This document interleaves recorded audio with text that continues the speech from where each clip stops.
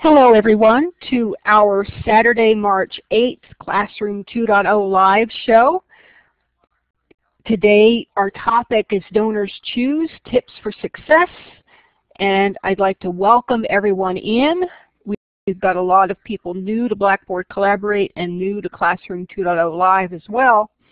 Uh, the show hosts are Peggy George, me, Lori Moffat, and Tammy Moore. Special thanks to Tammy Moore for doing closed captioning. If you have uh, a hearing impairment and would like to use closed captioning, it's you're not going to be able to hear me, but it's the icon is in the audio video panel where it says CC. If English is not your first language, uh, you can also follow along with closed caption, caption, captioning. Sorry. Our special guests today for Donors Choose Tips for Success are Laura Candler and Francie Kugelman. The live binder today is located at this website, and Peggy's going to be posting that link into the chat. The links in chat are live. You can actually take them from the chat, whether in the live show or in the recording. Uh, the various websites in the live binder are on the left edge rather than on the top. All of the recordings are posted on the Archives and Resources page at live.classroom2.0.com slash archive dash and dash resources.html.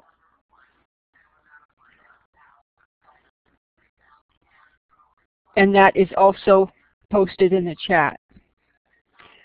We always like to find out where in the world people are logging in from. So if you take that second whiteboard tool and click with your mouse on the world map, we can get a sense of where everybody's coming in from. I'm from central Pennsylvania. Peggy's logging in from Phoenix, Arizona. Tammy's in southwest Arkansas. You can also type in your location in the chat if you'd like. I'm not sure where, uh, I know Paula's logging in from New Orleans, Louisiana. I don't know where Francie and Laura are logging in from. We're getting all sorts of places all over the United States. And you can see the United States is pretty crowded as far as dots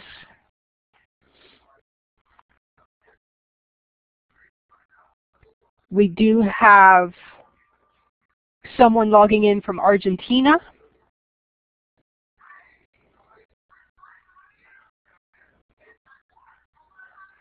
Okay, all over, mostly the U.S.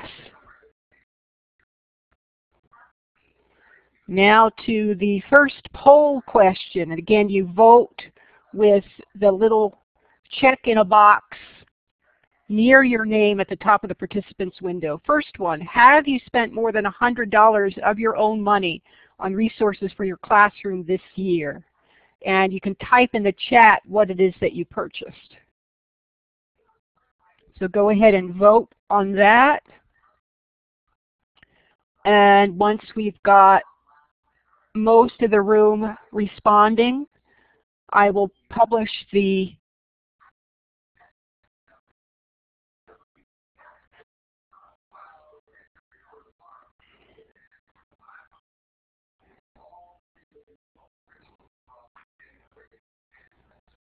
Kenny, your hands up.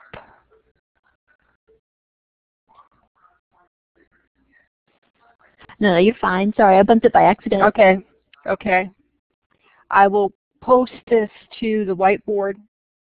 And seven, a little over 70% of those who have voted, 71% have spent more than $100. Only 3% have not of those that voted. We still had a few that didn't vote. Second question, again, yes or no. Let me clear these first. Have you ever created a Donors Choose project?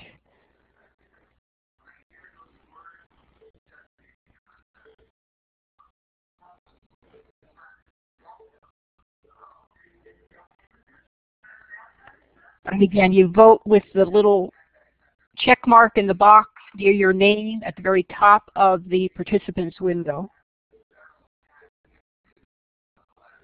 And again, I will post these to the whiteboard. And most in the room have. We have 54% who said yes, they have created a Donors Choose project.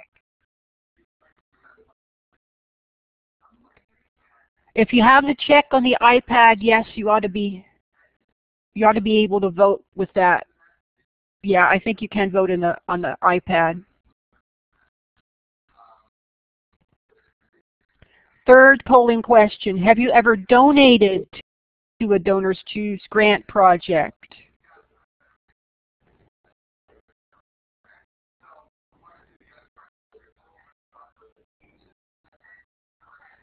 So it's either yes or no, have you donated? And the results are slowing down. I'll publish those to the whiteboard. And over half have donated. 56% have donated to a Donors Choose Grant project, 25% have not.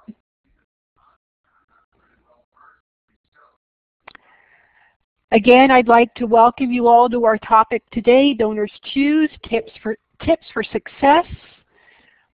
And I'm going to turn the microphone over to Paula Naugle, who will introduce our special guests today. Thank you, Lori. It's so nice to be here this morning. We are in for such a special treat. I am so excited and honored to be doing the introductions this morning. I've been a huge fan of Laura Candler's for many, many years and have, have enjoyed the many resources that she shares on her site, Teaching Resources. Laura was a fifth grade teacher for, for 30 years in North Carolina, and during that time she authored many print and ebooks, presented workshops around the country, and was a recipient of the Milken Family Foundation Education Award. Since her oh, and Laura used Donors Choose to obtain oodles of materials for her classroom. Since her retirement, she has been continuing to give back to the educational community by teaching others about Donors Choose and helping to fund classroom projects. Francie Kugelman is my Donors Choose hero.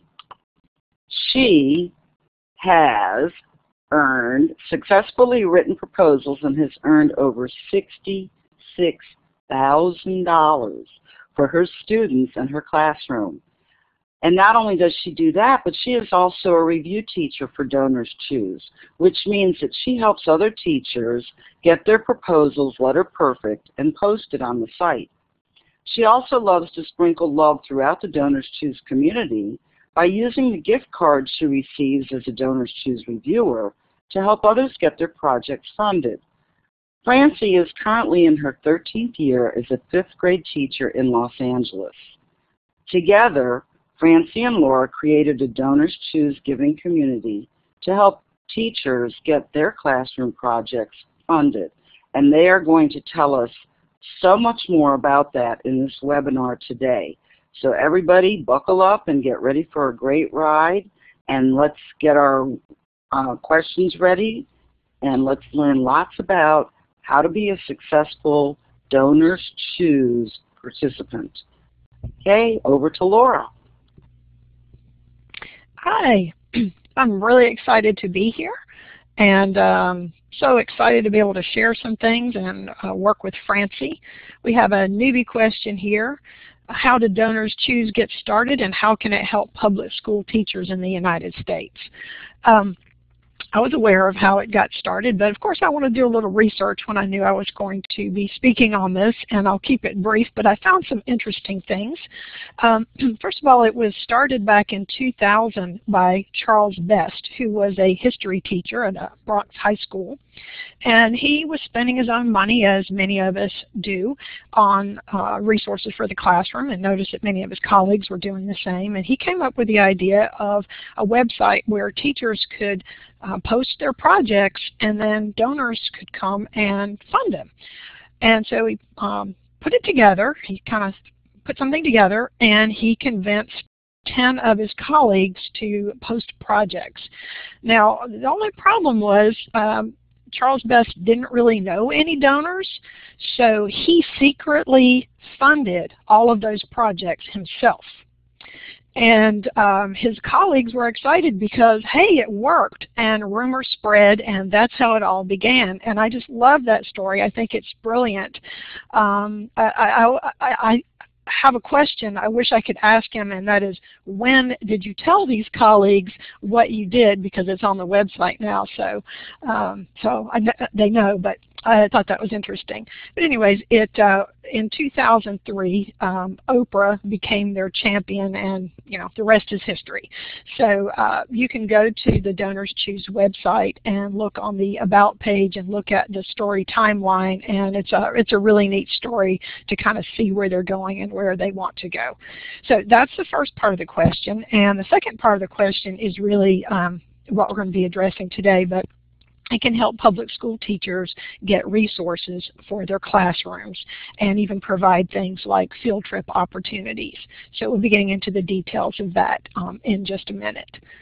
Um, okay, um, so our presentation, Donors Choose Tips for Success, um, is all about how to obtain funding for your classroom projects. And what's going to happen is I'm going to start here with a little bit and then turn it over to Francie because she's really the expert on um, using Donors Choose. And then at the end I'm going to tell you a little bit about the Caring Classrooms Giving Community that um, Francie and I um, are administrators of and that we created a um, few months ago.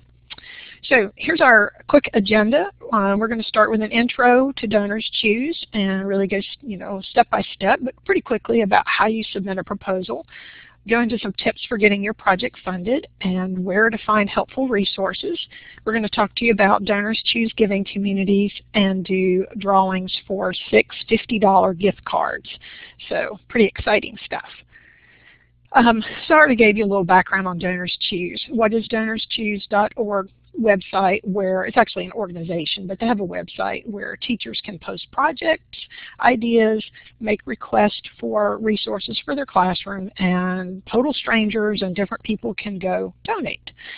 Um, I love Donors Choose so much that I started building, uh, well I started with one page on my website, but now it's a series of about five different pages of resources for using Donors Choose in the classroom and tips for getting funded and so on. Uh, Francie and I connected a couple of years ago online and uh, when I found out that she was a reader for Donors Choose and um, had had all these projects funded successfully, I invited her to do a webinar with me which we did a couple of summers ago, um, but a lot of new information has come out so um, I was really excited when we were invited to be guests here and share some updates. So um, some of the things that we're going to be covering are in the original webinar, but we really tried to go quickly through that because you can uh, go back to that webinar on this website, and we're focusing a little bit more today on some of the tips and tricks and things about um, caring classrooms.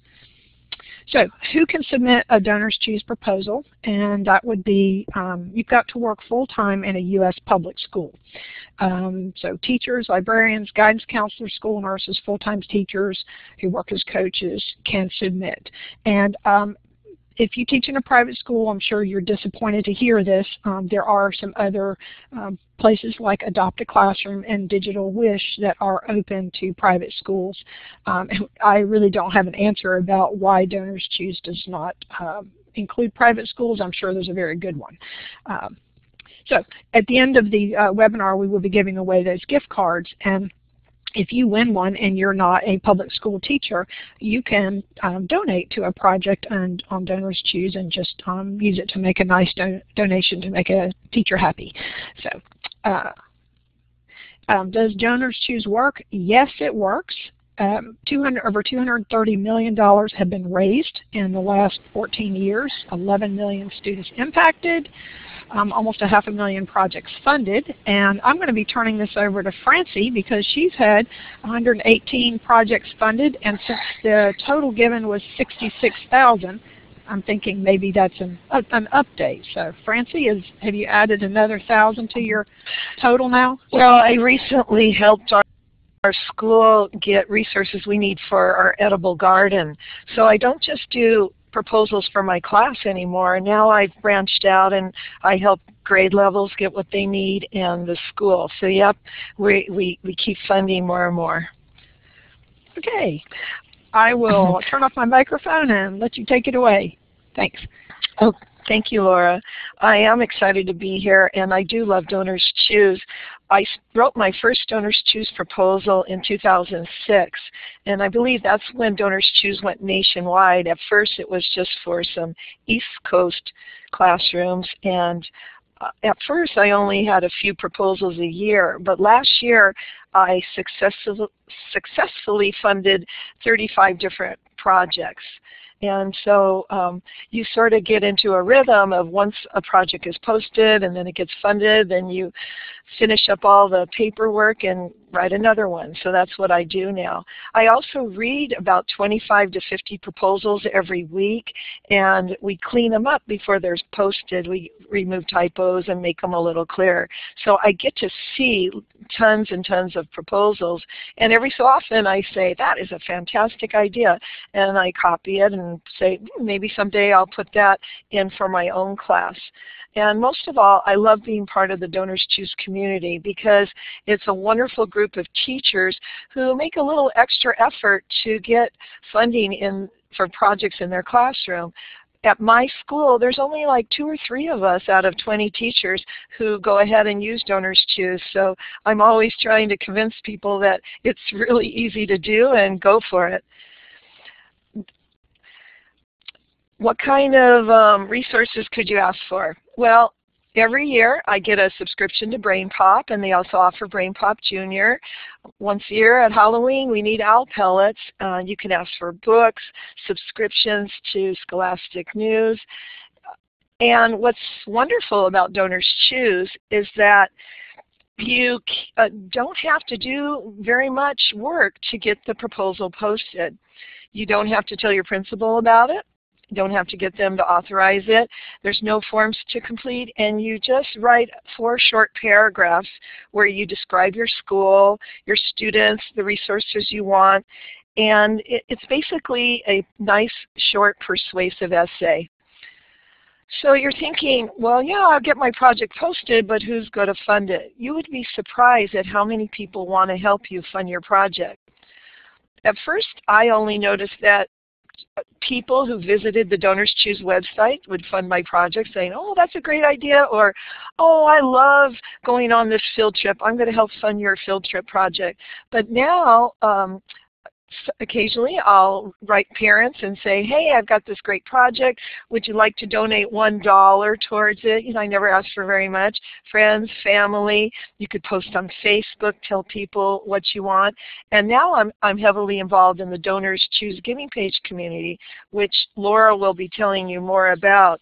And it's um, you can also fund your own project, which I, I am guilty of helping my projects get funded occasionally. So here's an overview of what we're going to go over. You'll um, set up a free account and you'll write a little bit about your school and, and yourself and uh, add a classroom photo. And you will um, write the proposal, which is the four, four paragraph proposal. Hopefully your project will get funded and you have four months to, to, to get it funded. And then uh, the best part is it's like Christmas in, in March when your packages arrive and you get to uh, open all your your your wonderful resources with your kids. You take pictures of the kids when the resources come and um, there's a couple of wrap up things you'll do. But it's not very hard and it's awfully wonderful to get uh, resources. So regarding the first photo that you have to submit, it can't be, uh, the kids can't be larger than that little green oval you're looking at.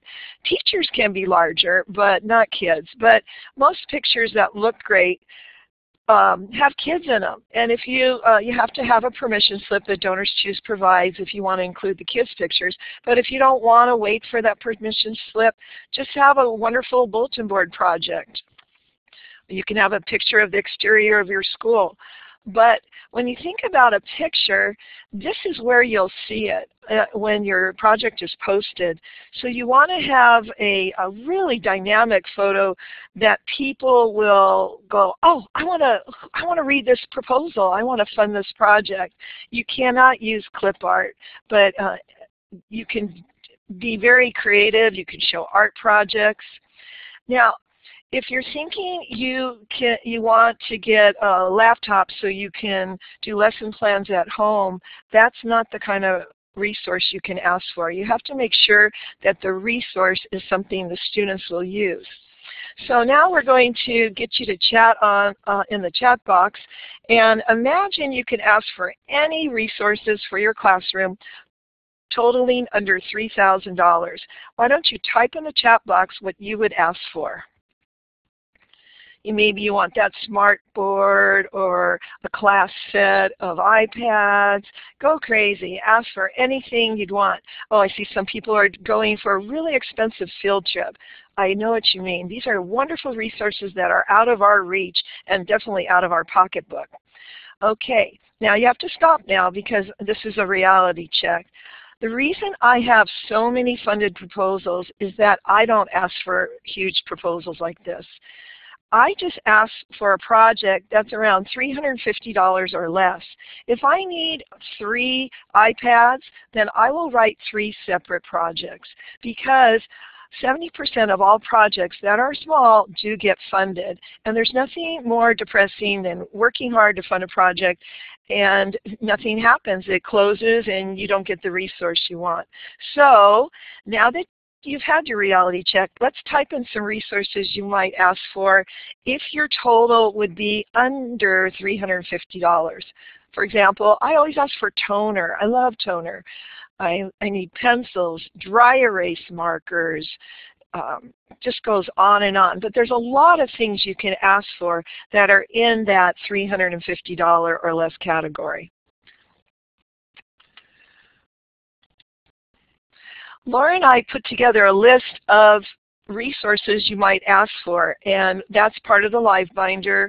And if you look here, um, flash drives are always being used in my classroom and if you don't yet have a document camera and a projector, those are wonderful resources to ask for. Just make sure you ask for them one at a time and uh, there's nothing more exciting than getting your project funded rather than waiting and worrying that it's going to close without getting funded.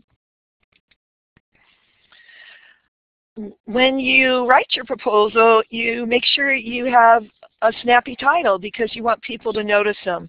I uh, one of the resources I never knew how wonderful it would be is a classroom copier. So I, I wrote classroom copier keeps us working, uh, costumes, backdrops, action. I do field trip proposals now, and the last one of them was we want to visit our local river and test the water. So really work on having a cute little title you describe your classroom, and if you're a Title I school, tell about it. Say 85% of the students at our school receive free lunches or reduced price lunches. People want to give to your project if you're uh, what, what Donors Choose call a high poverty school. And then describe each resource you want when we're reading the donors choose proposals and the teachers just say, I really want these resources because they're great, then we have to kick them back and it, you lose time to get it posted because you have to write in the description of your four paragraph essay exactly what you want. And then, you know, your typical persuasive essay, please help our classroom get the resources we need. You will be changing the life of my children. These are some of the stores you can shop at. Re last year, Amazon was added. Woohoo! And uh, however, we recommend you go through AKJ Books instead of Amazon for your books. If you uh, want iPads, you'll shop at Best Buy.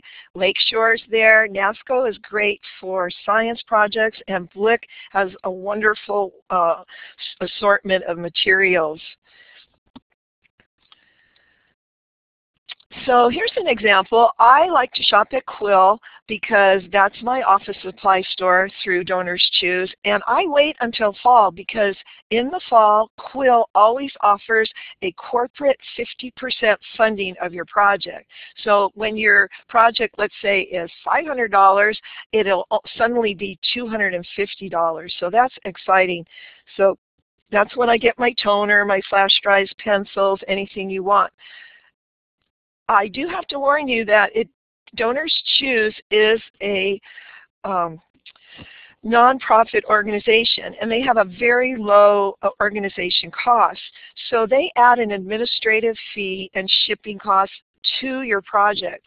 So for this example, your project was just 275 in resources, but by the time the processing fee and the shipping was added, your, your total project is now $400. So don't go shopping too much. I know it's fun to shop and hit the button, but make sure that your resources are low enough that your total uh, cost will only be around $400. And that's why we say stop with the, with the resource cost at 350 once your project is posted, it'll look just like this. And this is what my class photo looks like. These kids are now about 8th graders, but I just love that photo. And I love the color. So everybody, it's become my logo. If you see that pink girl in the shirt, she is jumping for joy because we were playing Classroom Jeopardy. And I use this photo for all of my projects. Um, when you get your project posted, you only have four months to uh, get it fully funded. So the very first week that it's posted is the week that you want to get a little bit aggressive because if you tell the people that will help you post your projects that if they type right here, if you can look where it says promo or gift code, they type in the word inspire, their donation will be doubled. So that means if they donate $5, suddenly you get $10 towards your project. So when I write to parents, as I said, I just say, oh, if you could just donate a dollar, um, that will really help our project. But of course the parents are much kinder than that and they donate a lot more generally. And it, if you can get a lot of donations, it looks like your project is very popular. Even if people are just donating a dollar, you'll have 20 donors who love your project. So then uh, a, a, donor who just happens to come upon Donors Choose and sees your project, they go, wow, 20 people like this project. Maybe I will help that project get funded too.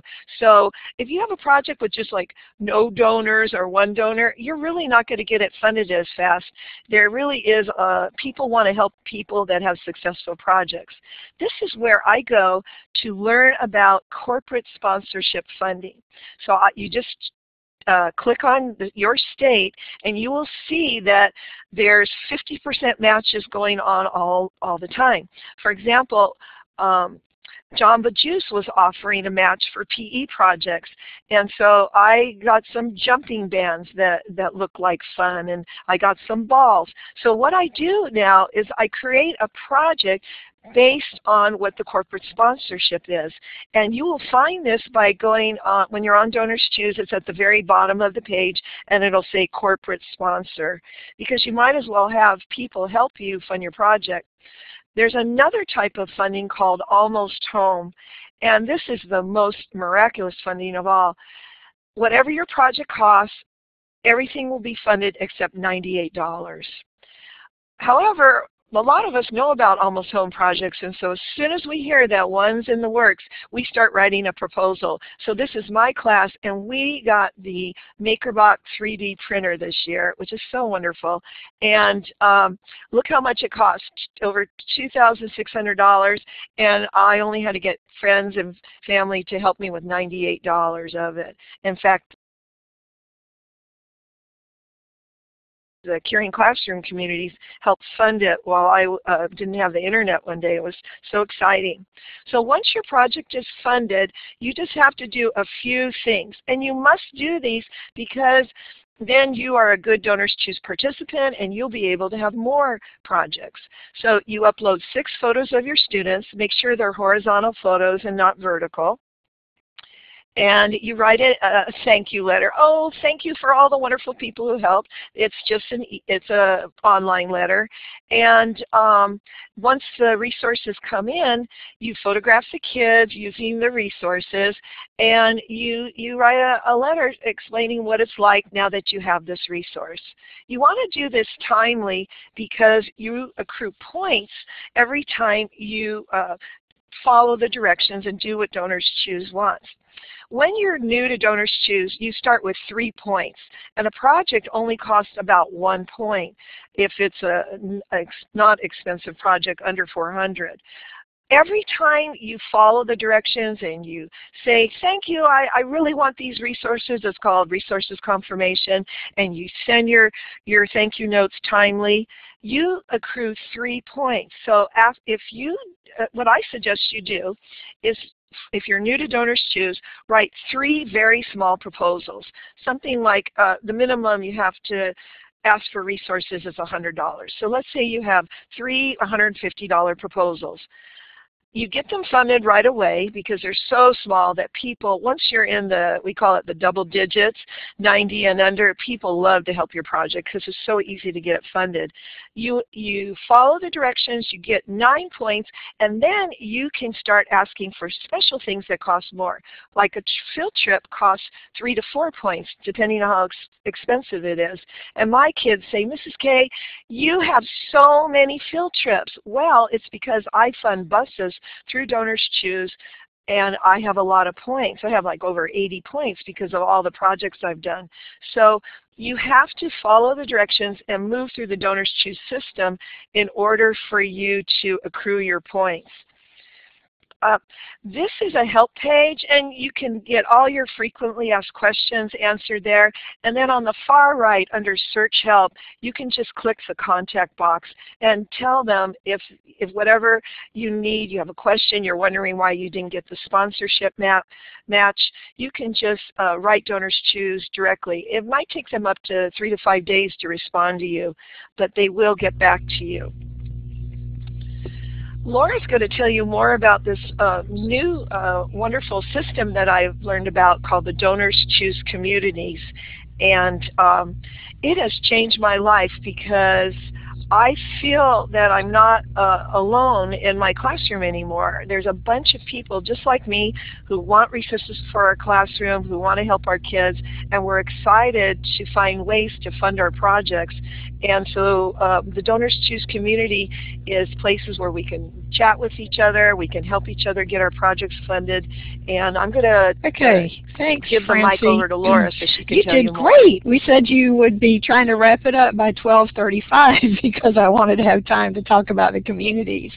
That was super. Um, I want to remind everybody um, about the webinar that Francie and I did a couple of years ago. It's a really good resource. Um, what she went through this time in about 20 minutes, she, she went into quite a bit more detail about the basics um, a few years ago because a lot of the basics haven't changed. In the original webinar, she spent quite a bit of time telling step by step how you write each part of the proposal.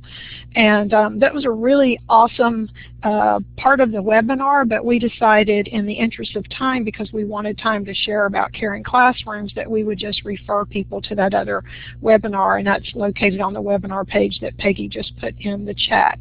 So um, I'm going to tell you a little bit about communities, and first of all, I will tell you, um, Francie started talking to me about communities, um, I don't know, uh, probably last summer. And I looked at them and I was really confused, just really confused. In fact, I had looked at them probably more than a year ago and I thought this looks interesting, but I have no idea what this is. And when she started talking to me one day, I said, you know, can we just like have a phone conversation and let me just ask you everything because I'm very confused about this. So she started talking to me and then I asked her to write a blog um, article for Corkboard Con Connections, my blog, And then um, I got kind of got, got so excited about it um, that I decided to start one on my own called Caring Classrooms. But it wasn't really on my own because I asked Francie to be an administrator uh, with me of this community. And we're, I'll tell you a little bit more about it in a minute. But um, I hope that this part of the webinar will sort of clarify some things for you. That Francie introduced communities by saying it is a way for people to kind of come together and support each other. And let me show you a little more clearly, um, not that her explanation wasn't clear, but let me just sort of break it down into sort of the parts of what a community is all about. So a community um, really has two parts. Um, a community on Donors Choose is a giving page where administrators, it could be one person, it could be several people, set up a page and they handpick projects that go on their page. And then they try to bring attention to those projects and try to promote them and try to help um, get those projects funded. But communities also have an important part, and that is the people behind the projects, the donors. And what happened was, I guess after the community started, these giving communities started, people started creating Facebook pages where the members of the community could share ideas and help promote the project and so on. So these communities are made up of some teachers who uh, want to get their projects funded, but also donors who might not even be teachers. So we, our um, community that we run together is called Caring Classrooms, and I'll be telling you a little bit more about it in just a moment here. Before we get to caring classrooms, I wanted to give you a sort of screen capture of some of the top Donors Choose communities. If you notice, the first one is called Rebuild Joplin Schools. So what happened was people got together to help the teachers, the schools that were hit by the tornado in 2011 and projects from the teachers in that particular area from the school systems that were hit by the tornado were posted on this giving page and then lots of donors, over 5,000 of them came to donate and that particular community raised over five, uh, excuse me, about a half a million dollars.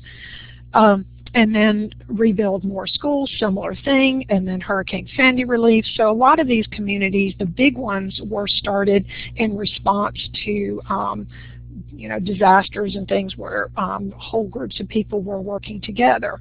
Now, there's another type of community, and ours um, we're kind of excited to see is at the top of the list of some of those other communities. It's called Caring Classrooms, and our community is made mostly of teachers who are helping to support each other. We are a very active group. We have over a thousand people who have donated to our projects, and we've raised, um, actually that number is even higher. I think it's over 44,000 um, today or almost to it.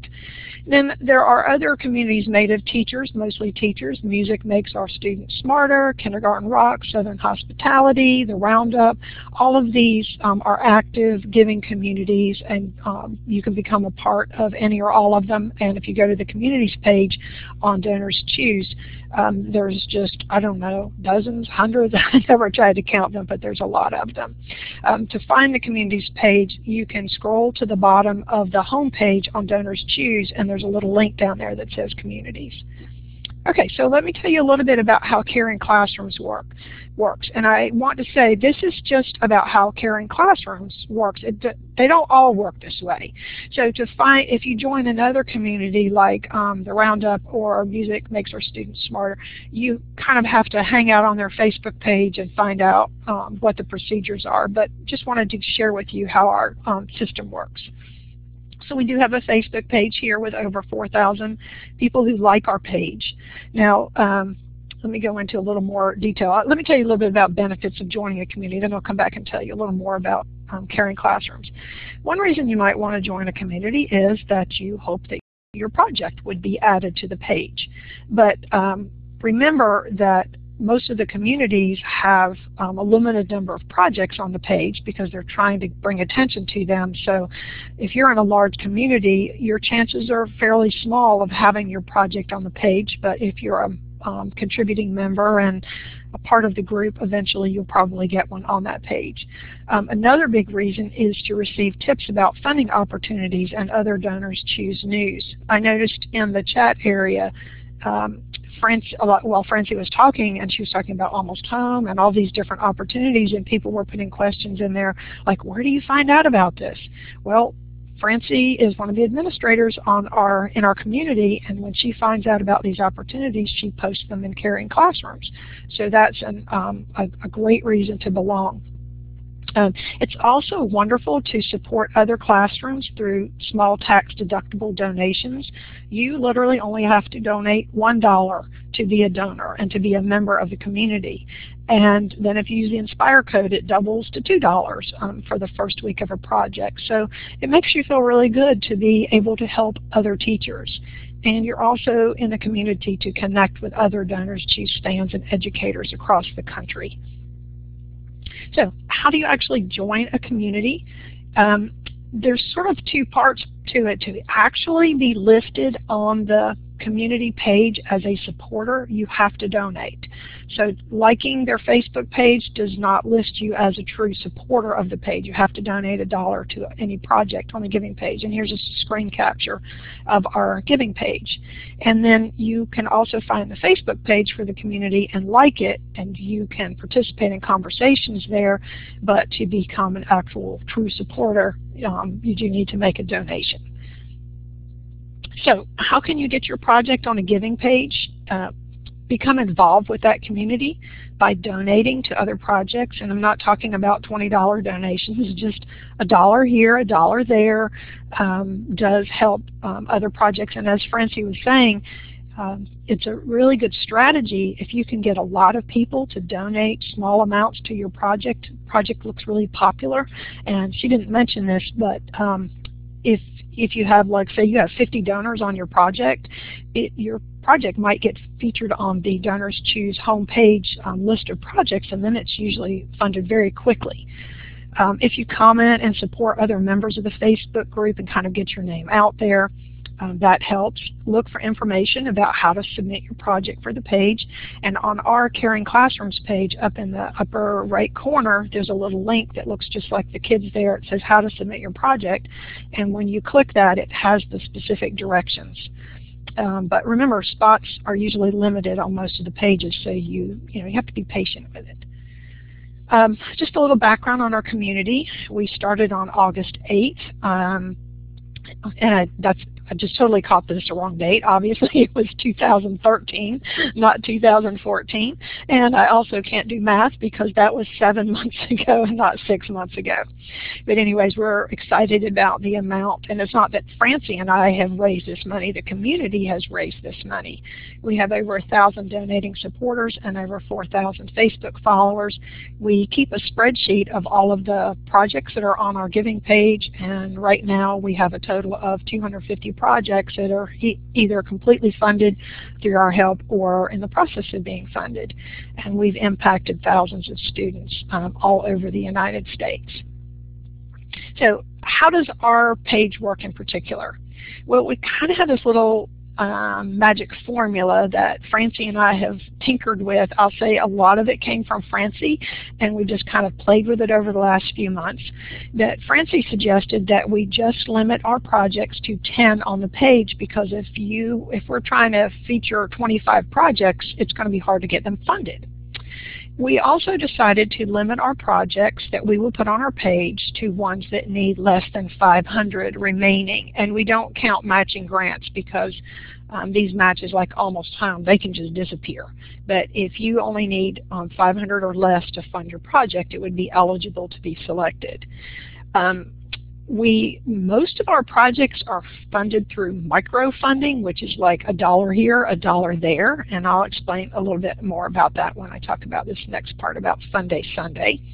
Um, every Sunday, I do a call for project proposals. We call it Funday Sunday, and at 8 a.m. Eastern Standard Time, I put something out that says, Happy Funday Sunday.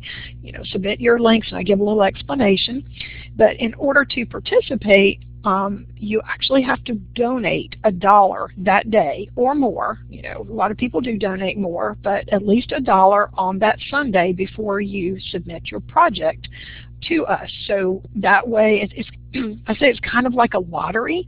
It's sort of like um, a wonderful education lottery because we have over, usually we have close to 100 submissions. We only usually have maybe three or four project, I mean, openings on the page. So your chances are kind of small, but hey, you know, you're donating a dollar to help another teacher and the possibility of it being funded or added to our page um, is, is there always. Um, we do select projects from active members of the community. As I said, we keep a spreadsheet and we go back to it before we make our selections each week. So we keep trying to, you know, spread the love and we don't, even though we have some really active members and we would love to be able to, you know, every week add a project from them because they are so generous and so active, we just, we don't do that. We try to add um, projects from new people. And um, we also have special contests where we try to obtain outside sponsors, just like um, I asked some of my blogger friends who donated so generously the gift cards for this particular event. The last event we had was a Share the Love on Donors Choose contest on Valentine's Day, and we actually had 12 $50 gift cards donated. So that's um, helping because we don't want the giving page to be where just teachers are donating to other teachers. You know, teachers use Donors Choose to help get their projects funded. They don't want to have to spend $500 trying to get their project on the page. We don't want that. That's why we say just donate a, a dollar just to um, kind of enter the the uh, the sort of lottery, but we are picking the projects. But by having these um, outside sponsors, we're um, adding you know more funds into the community. We, if you click on that link I was telling you about, you can download this um, one-page summary of how to um, submit your project request, and that is linked in the live binder. Um, I think I've already talked about everything. And then there's like a little QR code on the page there that if you were to print it out and hand this out at school to different people, they could scan that and it would take them to our Donors Choose page where they could learn more about caring classrooms. Um, I just wanted to bring this back up again. This link, um, there's a lot of resources on my website and they all start here dealing with Donors Choose. So um, you can find a lot of information here. And I started a Pinterest board a couple of weeks ago for Donors Choose Resources. And if you follow that, then you'll see when I pin new things, it's not just things for my website either. It's things like um, contests or Francie's uh, has written a couple of blog posts. Um, if you want to know about Funday Sunday, there's a pin there that will take you to that. I have pins going straight to different places on Donors Choose. Um, there's a pin there that shows a picture of a letter, and Stephanie Moorman, in teaching in room six, wrote a um, blog post about how to have your kids write good thank you letters. So I pinned that. So you can let me know too if you find some pins that you think needed to be added to the board or you know of blog posts that are helpful.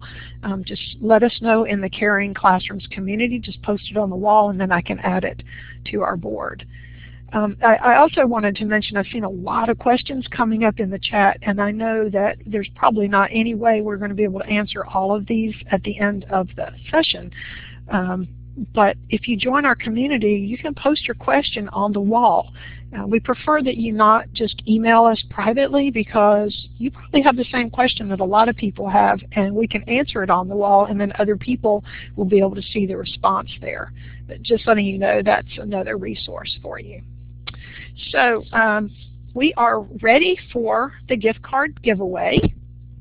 Uh, and let, let, me just kind of tell you what's going to happen. We're going to give one away now, and one of the moderators, um, I can't remember who was going to be doing the honors on handling the giveaway. They'll tell you in just a moment how that's going to be done.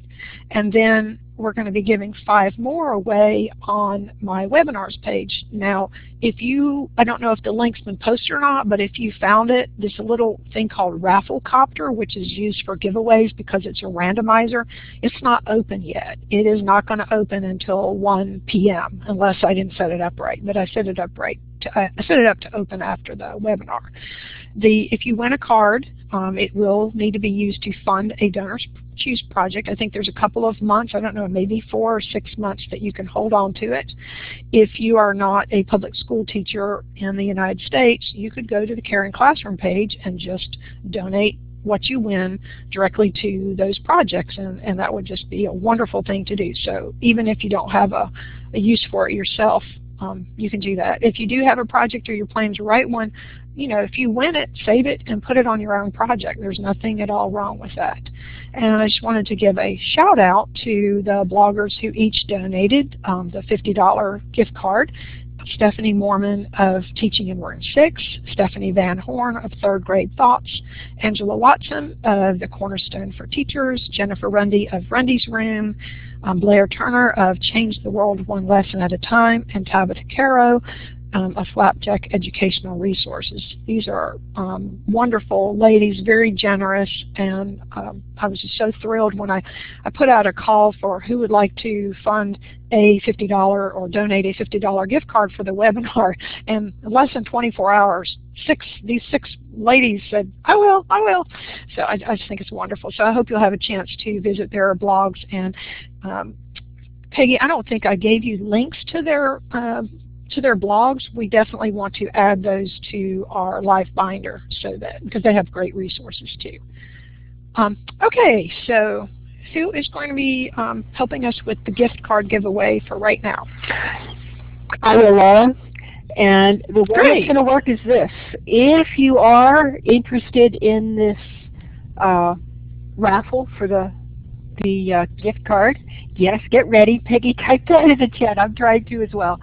Uh, what I'd like you to do, please, is, is to use that little hand icon. You'll raise your hand, and please keep your hand up until you are acknowledged once you're the winner. So raise your hand if you're interested. And when the bells stop ringing, the hand raised, not the not the check mark next to the hand. It looks like a hand. And I see we have many, many, many people. Okay. Once they stop, I have 78 now, right now. The number next to your name is the order in which your hand was, was raised. So keep your hand raised. I'm going to application share. Um, let me get my web browser up and application share that. There we go. You've got to you've got to keep keep your hand up because I'm going to put in the number, but I'm only going to put in the number once. So you'll see my web browser here with the randomizer. All right, I see up to 81, so I'm going to use 81. I want a number between 1 and 81. Get the random number. And keep your hands up because if you put your hand down, that your number is going to change. And it's 69. 69. So who is 69? Keep your hands up. 69 is looks like Diane. Is that, that right? Was, uh, I thought let's see. Was Diane? Diane Norris, I think I saw? Yes, I think it's Diane Norris. Mm -hmm. So it's Diane 69. Diane, okay, and what, what next? She's Diane Norris. Right. Okay. Congratulations, Congratulations Diane. Diane. You can go ahead and put your hands down now. And that lowers your hand if you click on your hand again.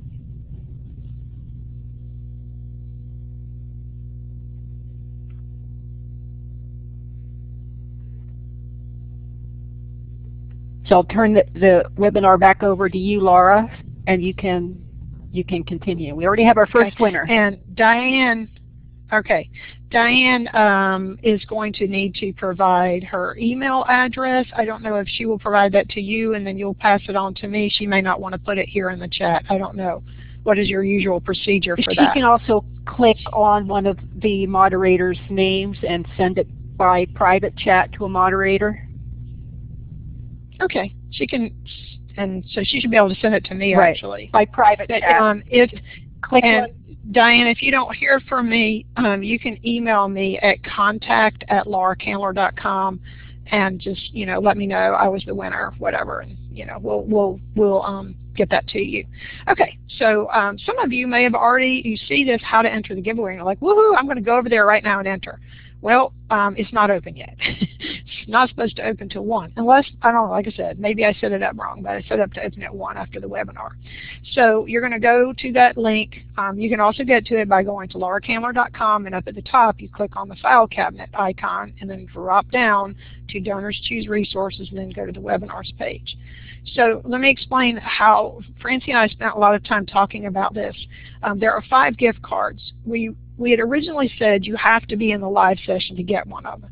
Then I kind of said, you know, some people, like I had somebody who emailed me, she had to go to a funeral today. And other people have plans, and then some people are going to email me after the session. It happens every time. I tried to get in, I couldn't get in. So we're doing sort of a compromise, and that is we are going to draw three names probably an hour or so from now where it, the recording is not out and you would have had to have been at the live session in order to um, submit, you know, to enter the contest. But then we're going to reserve two more and let the giveaway run through the end of the day Sunday so that once the recording is released, people who couldn't get in can watch and they can also enter. When you go to the Rafflecopter um, giveaway thing, it's going to, the first thing it's going to say is that you've got to unlock it and see what your other options are. You've got to put in a secret phrase. So we're using Charles Best, who was the founder of Donors Choose, as your secret phrase. And um, you may only enter once into the contest, and we will notify you by email. I think it might connect with your email account or Facebook page. I can't remember exactly how it works with Rafflecopter, but we will be able to um, pick up that information and um, we'll contact you. Now, even though we're going to choose the first three in an hour or so, you actually won't hear from us till later in the day because the way the Rafflecopter works, I can't really get access to the data right away. But um, you'll hear from us by the end of the day. We will also be announcing this in the Caring Classrooms community. So um, that's how it's going to work. And um, let's see, I don't know if there's any questions over in the chat here before we um, if there's any questions about the giveaway.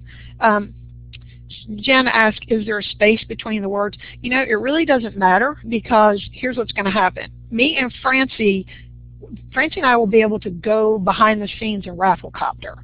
And it's we're going to look at it. And so like it doesn't matter if you capitalize it or not or put a space between. Like if it says Charles Best, we know that's a secret word. It's not automated. Um, we would also ask you, please don't um, just you know, tell all your friends this is the secret word, go enter. Um, that's going to cut down your opportunities to win for one thing, but also we really, especially in the first hour, we really want it to be for the people who took time out of their day to attend, which looks like we have over 100 people in the room.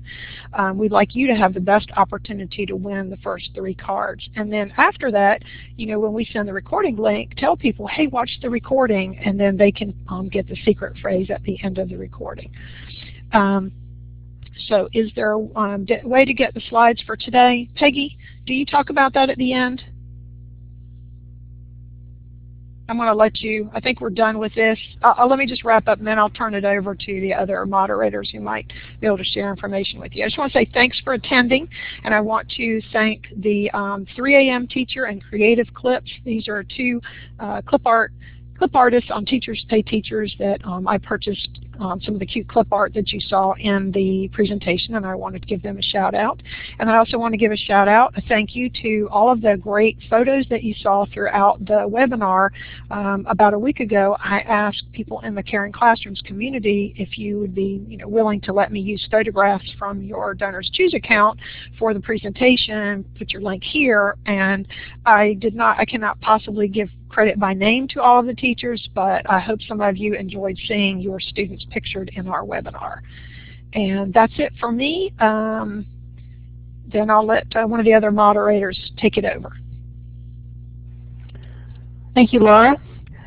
I do have quite a few questions captured, some of which were answered as we went along. I go back to the top. Uh, this probably was answered, but it was asked, can homeschoolers submit projects? And I'm gonna I'm gonna let Francie. Looks like Francie's on. I'm gonna let Francie handle a lot of the technical Okay. type things. Uh, so Francie. Okay, can you uh, repeat your question? Can homeschoolers submit a project proposal? No, I don't believe so. I think you have to be a public school teacher. What about uh, Department of Defense military schools? Yes, I, I read a lot of proposals from teachers who work at a military base. And um, be sure to describe that if that's what your situation is, because a lot of people want to help uh, teachers that help the military. So yes, I've seen a lot of proposals from teachers working on a base. Great. Uh, can IT teachers submit proposals? I don't know what that stands for. IT uh, information technology.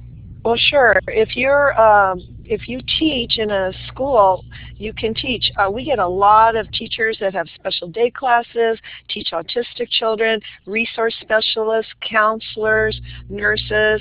So uh, librarians can submit. So yes, I would think that the IT teacher, if they teach a class, would be able to submit. Okay, I'm just going to pause questions for now because it is a little past the top of the hour. And, and I'm going to close the show so we can stop the recording and we'll come back to the questions if that's okay. So our upcoming shows for Classroom 2.0 Live uh, next Saturday will be Donors Choose Part 2 with Rebecca Burkoff, Jenny Jones, and Paula Naugle with hashtag fourth chat success stories to donors choose. And March 22nd, Erin Klein is our featured teacher for March.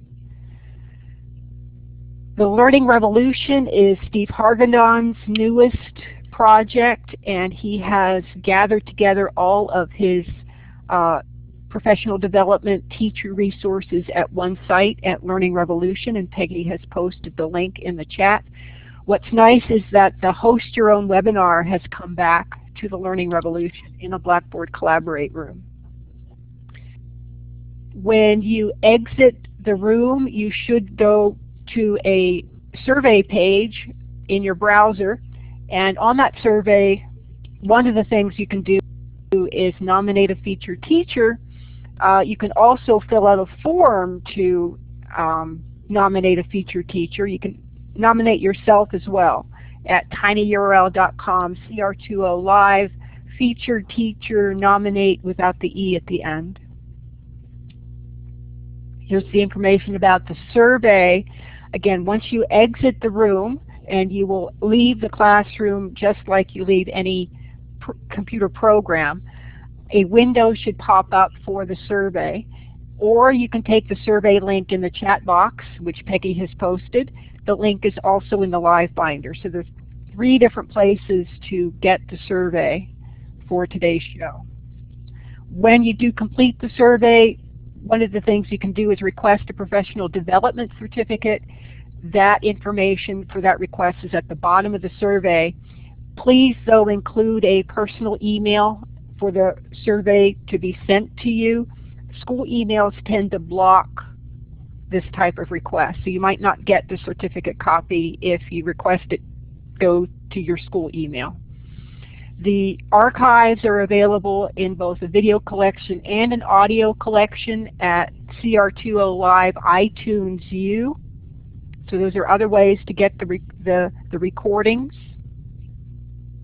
Yeah, the certificates for professional development will go out either later tonight or sometime tomorrow. You also can access an RSS feed of the show archives from the Classroom 2.0 live website. The link is right there. So there are many ways to get to other recordings like the first Donors Choose recording. So special thanks again to Laura Candler and Francie Kugelman, to Steve Hargadon, founder of Classroom 2.0, Teacher 2.0, Future of Education, and the Learning Revolution, to Weebly.com for providing our website and to everyone who participated in, in today's show. Thank you. The recording will be in the live binder later on, so will the chat log.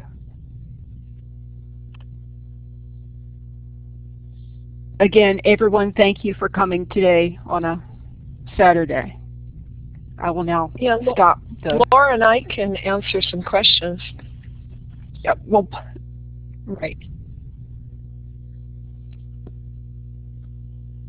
Is there somebody, Peggy, has somebody um, been looking for I have. questions? I've been capturing for- questions as we've, Okay. as we've gone along and along, and I've already asked Okay. a couple of them. Can a staff member Okay. who works with rehabilitation behavior for at-risk kids submit, submit a proposal? Well, I So this know doesn't that. sound like a uh, teacher. Yeah, I know a counselor can because uh, I've seen a lot of those, but I don't know about staff member. Why doesn't the staff member just get a teacher to write the project for them? Mm, good, I, good idea. Uh, is it okay to submit proposals to benefit students at multiple grade levels, even those, even though those students do not sit in your classroom? Uh, what lately they've been changing the rules for us screeners to look at projects. It used to be uh, the project had to only help your classroom. Now it can help multi, uh, multiple classrooms. But when you write it, focus more on your classroom, and um, that's just the kind of proposals we let go. But you know, it, I saw uh, there was a sign someone wanted, and it would help the whole school. So that got approved.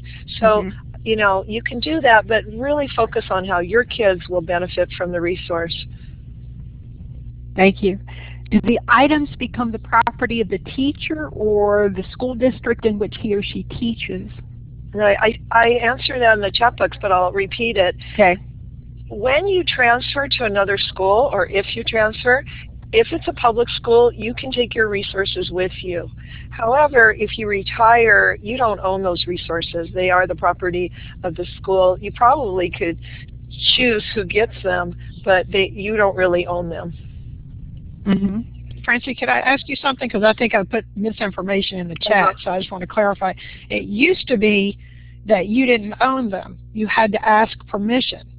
But you're saying now they've changed it to where Yeah. the teacher does own it? Yeah, that, Where the, I mean, like they can take it to another school within the same system. Yeah, you're saying There's a there's, there's, a, there's a page on Donors Choose where they have clarified ownership because so many Okay. people asked it, and now they said you may Okay. take your resources with you to the next school.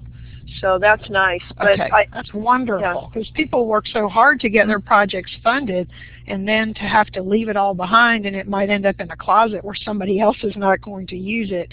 That always upset me. Oh, know, sure. because Right. Someone was asking why use AKJ over Amazon for books. They, you know, they're a vendor. They paid money to be a vendor for Donors Choose, and it's nice to support them. You can support Amazon for everything else. I mean, it's just amazing what Amazon offers. But you, um, it's nice to help out AKJ, and they do a really good job. So that's where you, uh, we recommend you go for books. Well, if I could interject too, I heard with Amazon, I don't know if this is true now, but I've had some teachers posting things about how, in fact, one person on our Caring Ca- Classrooms page got a project funded for some um, base 10 manipulatives, but then Amazon was out of them, and then she never got them. Like, she got everything else, but she didn't get half of her project, and she had to go write another proposal for those items. And uh, several people had said that with Amazon, that seemed to be more of an issue where things weren't available that they'd ordered. I, is, do you know if that's still true? Well, usually you'll get a notice in your email box from um, Donors Choose saying, this is not available, please select a replacement item. And they give you the same amount of money if that, that resource costs to fund. Okay. You might not be able to find it for that amount, so you have to find something similar. But you don't lose your, your resources. But yeah, you might have to go, you know, school specialty, Kaplan Learning, Lakeshore, those might be better to get the teaching resources you want. Right. I'm looking at the chat, and it seems like a couple of people have put some things. Someone, Dawn, said only select Prime products, Amazon Oh, Prime. right. That kind of makes sense because that's more um, they're more reliable, that, that I would is think. a new rule. I remember. So they don't really want you going to those vendors that really aren't part of the Amazon circle. So when I helped our school get the gardening projects we need, by the way, that was through Disney. Disney funds 50%. You have to be a, a look at the uh, the requirements, but they just funded it recently, and that's been going on for like six months. You have to mention Disney in your proposal, and you have to get uh, hands-on resources for something to do with the environment. But anyway, um, I just made sure we asked for all sorts of obscure com composting items, and I just made sure the vent the when I was at Amazon to pick vendors that had the word prime when you first uh, did the search, and I got we got all our resources, no problem. I did want to remind everybody too when um, I don't know what the time limit is on you know the question session, but if if you have questions that are in the chat that are not that we don't get to, maybe we overlook or we run out of time. If you would um, go to Caring Classrooms, join our Facebook page, and you can post it on the wall. And Francie and I read those um, questions and answer them there. If you would please um, don't email us privately with a message feature these are questions other people would like to see their responses to, and it's very difficult for us to try to answer these one-on-one. -on -one. If it's a one-on-one -on -one question about your specific resource, you probably just need to contact Donors Choose about it directly. So I just kind of want to clarify because there's a lot of questions going in there, and I don't want people to feel frustrated that when we end the session, you know, they didn't get their question answered. Yeah, I'd like so to, we're, we're here for to give a for plug you. for a new campaign that Donors Choose is starting next week. It's called the Friends and Family Campaign, and what they're going to do is they're going to reward you if you have three unique donors who donate $20 to your projects, and they'll keep track of it. I believe you, they'll give you a $35 gift card when the campaign ends, and I think if you get up to five to nine projects with $20 donations from unique donors, you'll get an even larger gift card. So uh, we'll provide the link for more information. So if that inspires you to write a proposal now, then you can participate in the Friends and Family campaign. Plus your donors can type in INSPIRE, so their $20 donation will really be worth 40. So this is a really unique moment, and us screeners, we're, we're hundreds and hundreds of proposals are being written right now, and we're, we're going to screen them all so they get posted for next week. And I wanted to sort of jump on the end of that too. And um, for caring classrooms in our community tomorrow is Funday Sunday. So we will um, put out our call for projects and people have all day to submit their projects. But because um, this $20 um, special um, event is starting on Monday, uh, we're not going to pick projects until Monday, and normally when uh, we choose projects for the page, I make a $10 donation to those projects myself just to kind of help out.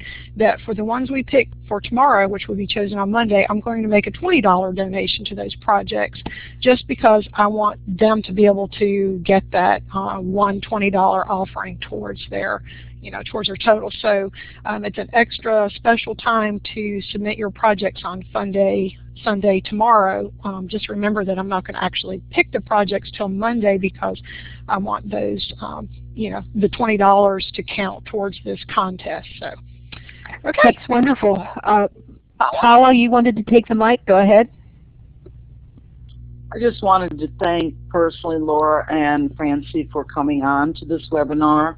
I reached out to them after I had gone on Laura's page and um, viewed the webinar from previously that she and Francie did about Donors Choose and have been very successful. And I thought this is such great information that it needed to be shared again with um, another audience so that, of course, the circle keeps expanding. And I invite all of you to join us next week as we talk about our success stories and how we went about being a little nervous after, um, you know, learning how to do it and then thinking, okay, is this really going to work? And a group of us got together and we had a wonderful time in a Google Hangout, learning from each other and getting it together, and have been very successful. So, of course, we want to help spread the information and share the love with lots of other people also. So get ready for next week. And Laura and Francie, thank you so much. Awesome, awesome webinar. We're glad to That's be great, here. Paula. It's so nice to know that you watched the webinar and that it helped you. That's wonderful. Peggy, were we going to take a few more questions I saw in the chat? Yeah, I have some other questions that I've captured. Sure. Oh, Sure. uh, I have something I can say. So Julie just posted about the creditreport.com almost home match. Uh, I believe what you want to ask for is resources that will help with financial literacy. So uh, I've done that match before and I've asked for calculators. I've, and you can go to Donors Choose and look at other people who do have the credit report almost home match I, I think it's a lot of money they're offering, so you might be able to ask for iPads, but um, these almost home matches disappear, but if you just need resources like calculators and um, maybe manipulatives from Lakeshore, and you mention how it will help your kids understand money and finance, then hopefully Credit Report will uh, pick your project and give it the almost home match. And remember, the first week, if, if you get $50 in donations and double it with the Inspire, your match is funded. So I really recommend if you get an almost home match, you might even want to fund your own project because it's so wonderful to get that match before the money uh, is spent and then your project goes back to its original price. I've seen this question a, a few times. How do you find out about almost home grants? Caring classrooms. I'm, I'm telling you, like we, as soon as Francie knows things, she just jumps on our Facebook page and she shares it. Mhm. So there are, there was a blog from Donors Choose, and I saw some people saying, you know, follow the Donors Choose blog. Mhm. But our um, group and other communities, this is how um, a lot of people are successful because they're a part of these giving communities. And they and find so out there. they get the first information. Right. They find out before other people. And Sure. also having a project ready to go so you can quickly post it when something comes up is also good. Great. Or submit it, I guess. Mhm. Do you recommend having multiple pr proposals at once, or do you focus on one at a time? Uh, I have multiple proposals at once. After you're an established Donors Choose teacher, you can have eight in the process. So I have some that I have to submit some photos on and some I'm waiting for the resources to come. So you can have eight and then once you complete the package, you can keep the ball rolling. So um, I always pick for the longest amount of time to write my thank you letters because you lose points if you're late on returning all the thank you uh, Mhm. items you need to do. But I try to get them wrapped up as soon as possible so I can keep uh, the projects moving. And with bus trips, it takes forever to get a final invoice. So Right. you just write donors choose, and they just sort of take that off of the of the the maximum count you can have. They just put it sort of in a holding pattern. But if you write them, they'll do that for you. If you want funding for several subscription sites like Powtoon, uh, BrainPop, Storybird, do you write one proposal or three proposals? Just wondering how to break things down. Well, it's more about the cost. I think Brain Pop's about $150 and Mhm. maybe Scholastic News for a classroom subscription is a certain amount. So you just watch your own cost, but there would be nothing wrong with mixing them two to get together. But you know, to me, I like small proposals because, as I said, once your proposal is down to about $70, you'll get it funded. There are so many people who see a, a project with just a little bit left on it and they get excited and they want to help you get funded. Sure. Sure. Well, thank you both so very much, and also to, to Paula for um, arranging this so that we can have the show today. We're now going to officially close the show, and again, everybody, thank you so much for attending, and remember to make sure you log out of the classroom so the recording can be processed. Thank you for having us. Yeah, we enjoyed it very much. Thank you.